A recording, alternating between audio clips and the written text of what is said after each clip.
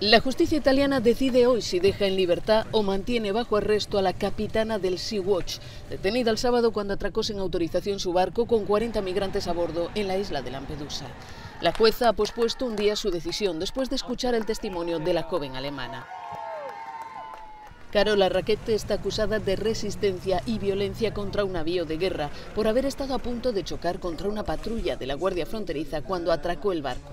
Asegura que lo hizo porque la situación de los migrantes a bordo era insostenible. El fiscal no está Consideramos que en este caso no se trataba de una acción necesaria. No estaban en un estado de necesidad porque el barco Sea-Watch había recibido en los días precedentes asistencia médica este caso, fruto de la decisión de Matteo Salvini de cerrar los puertos italianos a los barcos humanitarios, está generando muchas críticas, en especial del gobierno alemán, que considera que se está criminalizando el salvamento en el mar de migrantes en peligro.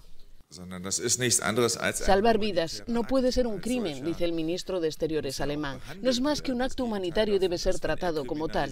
Por eso no podemos comprender lo que está ocurriendo en Italia. La capitana alemana también está acusada de ayuda a la inmigración clandestina. Donantes han dado más de 1.200.000 euros a colectas de fondos en Internet para pagar la defensa de Carola Raquete.